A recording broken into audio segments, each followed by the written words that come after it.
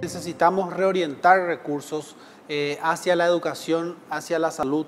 Y como parte de esa reorientación del presupuesto también viene la iniciativa eh, tributaria, una propuesta de simplificación y modernización tributaria que busca generar más recursos pero con equidad, es decir, que aquellos eh, sectores, empresas y personas que tienen mayores ingresos y mayores ganancias puedan contribuir más y de esa manera generar más recursos para fortalecer nuestro capital humano con más educación y más salud. No se trata de cobrar más impuestos nada más.